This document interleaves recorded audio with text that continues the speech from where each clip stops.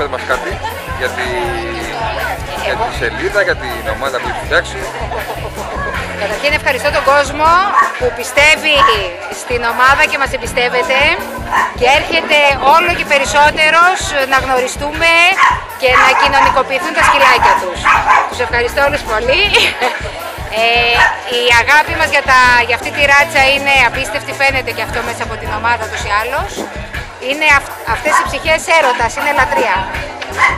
Ε, ο Ρόκι. Ρόκι. Πες μας λίγο χαρακτηριστικά για τη, για τη ράτσα αυτή, επί εξού. Για να μάθει και ο κόσμος που ο δεν ξέρει. Ε, αυτή η ράτσα είναι απίστευτα... Τι να πω, τι να πω. Είναι άκρος ερωτεύσιμα σκυλιά, έτσι. Είναι πάρα πολύ ήσυχα, δεν ενοχλούν. Άσχετα τώρα να ακούτε ορισμένα που καυγίζουν, συνήθως είναι η εξαίρεση αυτή.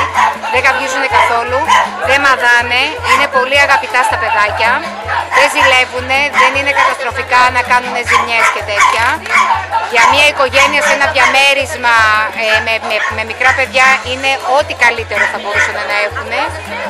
Ε, τι να πω, συνήθως είναι μακρύτρικα, ζουν 14-15 χρόνια, τα κιλά τους είναι από 5, 4 με 8 ανάλογα.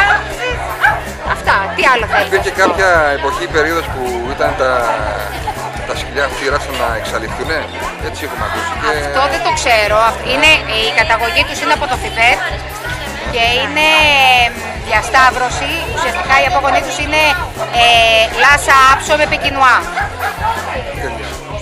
Λοιπόν, ευχαριστούμε πάρα πολύ και ευχόμαστε καλή επιτυχία στο δικά